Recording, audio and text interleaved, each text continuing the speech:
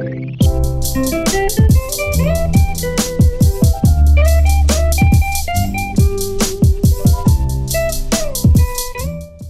today we are finally going to the Ukay after months of trying to convince my mom, also because there's a pandemic going on.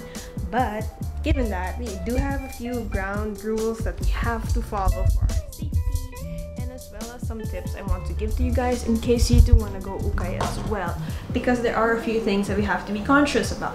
So, very first thing, you should know what you're looking for. The Y2K trend is just taking all over Pinterest as you can see here. So these are my style inspo. So there's a lot of animal print, a lot of cami tops, silkwear as well as in. I don't really identify with the Y2K trend. For my personal style, I have been leaning towards the 80s, 70s, 60s even type of years, decades. So a lot of groovy prints, flared sleeves, halter tops are also nice. Even everything that I'm looking for, I am going to only one shop that has everything so that I can lessen my movements in the public space and hopefully not come in contact with Miss Rona because I don't want to get the Rona. And that is actually part of my second tip which is to keep it simple.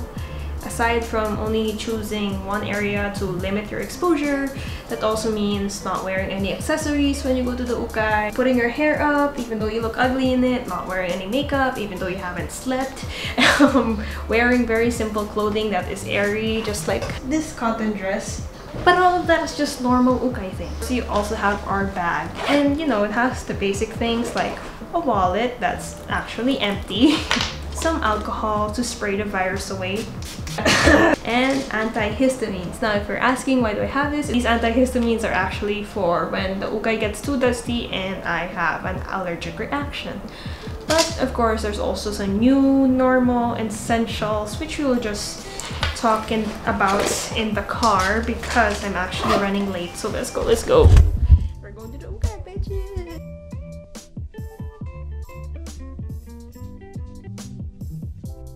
And now we're here. So okay. And then we're going to talk about essentials. Of course, mask and face shield, gloves.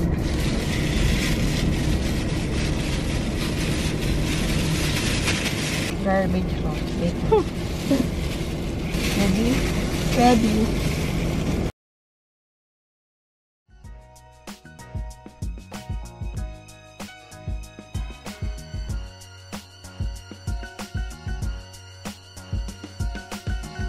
As we step into the ukay, the third and final K that we have to remember is to keep your distance. Now, I'm lucky enough to be able to go to a shop that's as big and spacious as this one. It's one of the reasons why I chose it, and it also just has everything. But if you can't go to that type of ukay, at, at least go there when there's not a lot of people. For me, I think the most ideal time would be noon, even though it's hot. Really early morning once the ukay opens is also a good time slot aside from distancing yourself from people, you want to distance yourself from the clothes. How does that make any sense? Don't try anything on.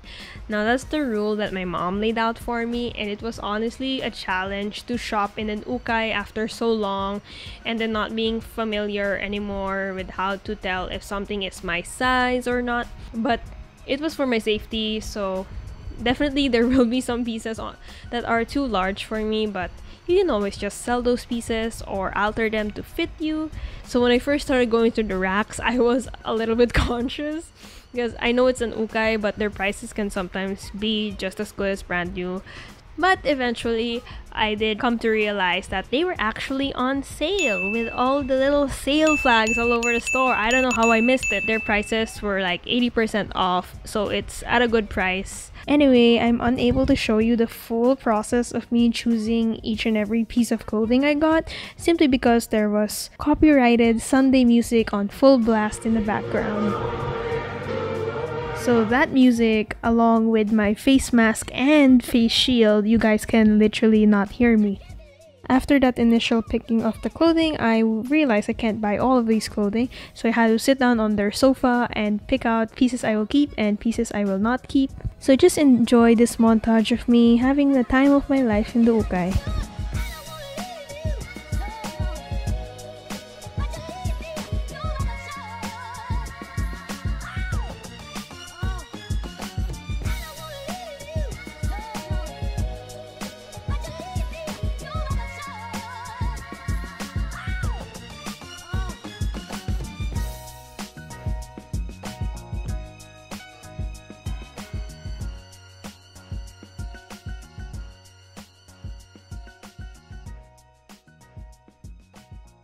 Okay, so I'm back from the Ukay.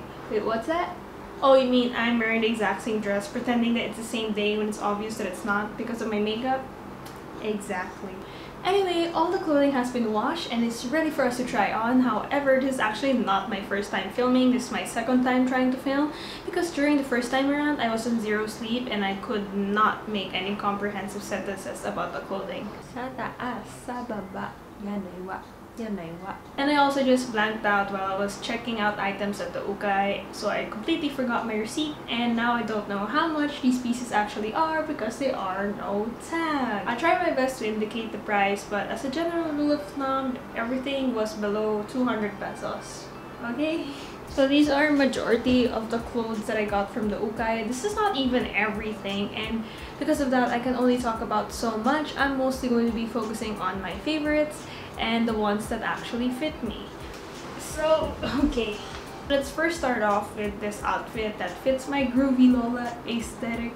This lava colored mesh top is one of the first things that I picked up at the Ukay and you can just see the joy on my face when I first saw this. And you can imagine how much happier I would be once I found out this bitch has some flared sleeves.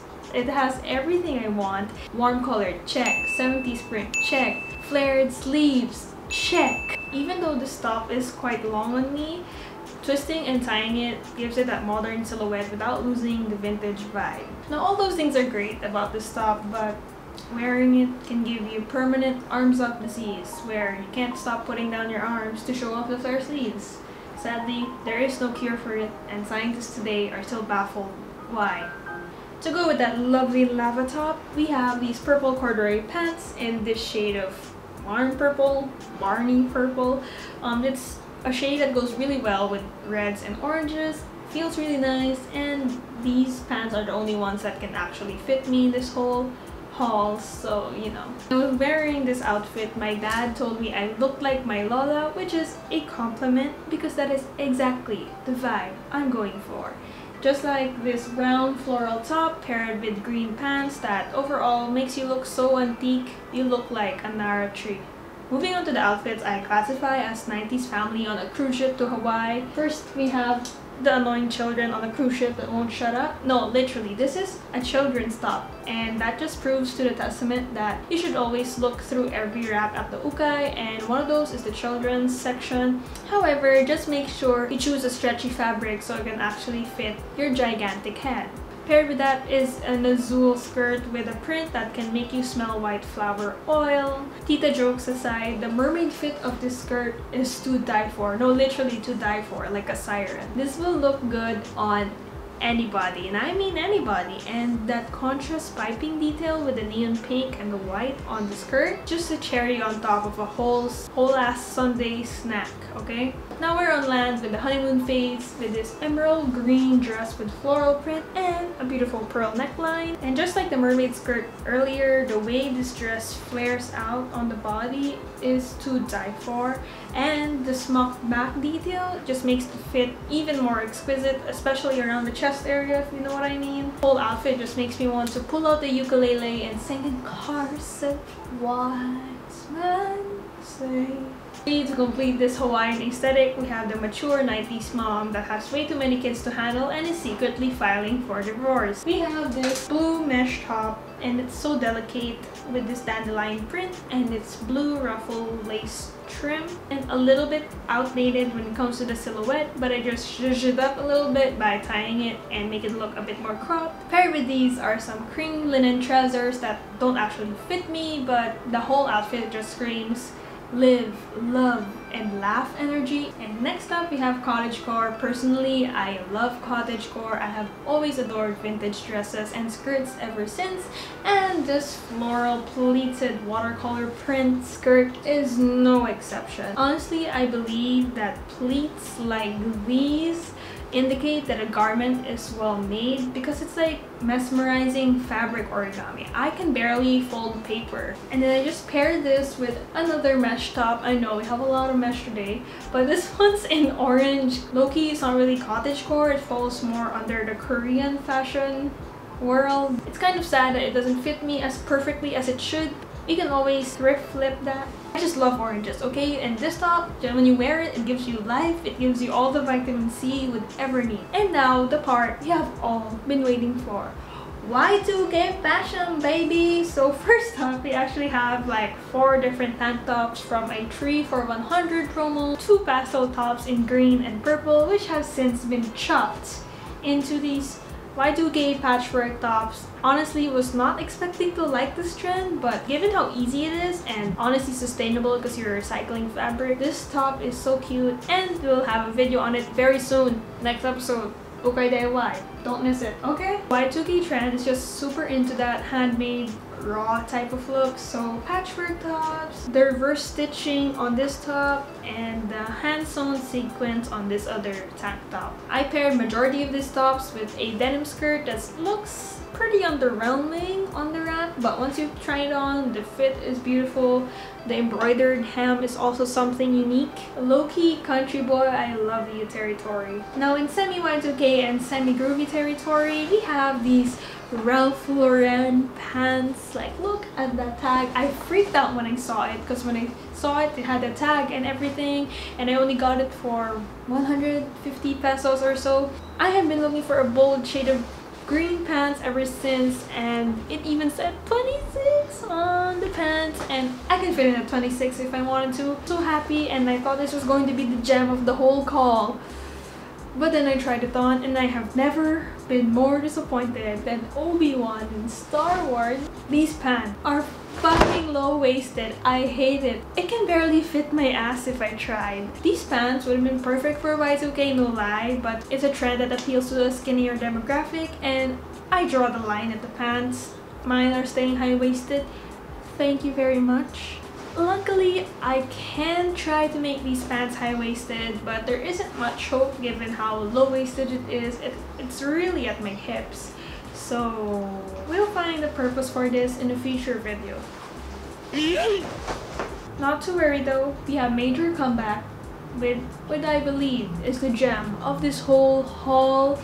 It's these orange velvet zebra print leather jacket. This jacket has to be the underdog of the whole call because when I first saw it, I actually thought it was 500 pesos, but then turns out it's actually just 200 pesos or something. So I bought it immediately even though I was having my doubts because it's kind of too bold for my liking.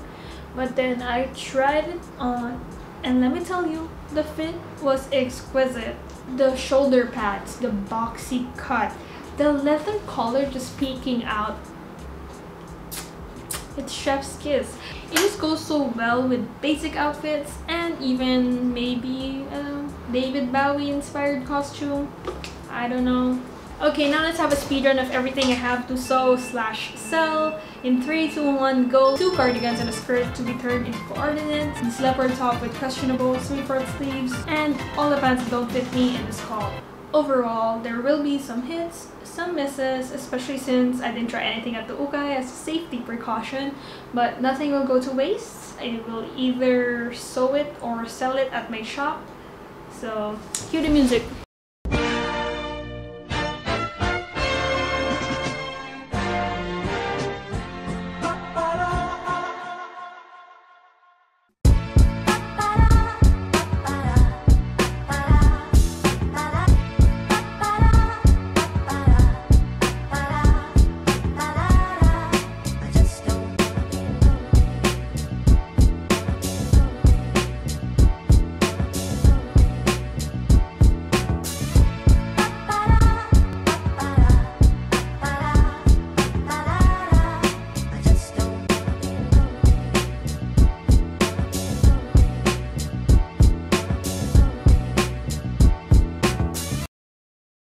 Hope you guys enjoyed the very first episode of Lakbay Ukay. For our next video, we're going to have a lot of Ukay DIY and a new series on sewing basics, so please bear with me as I try to fit in the schedule with my school. Just subscribe so you know when I have a new video.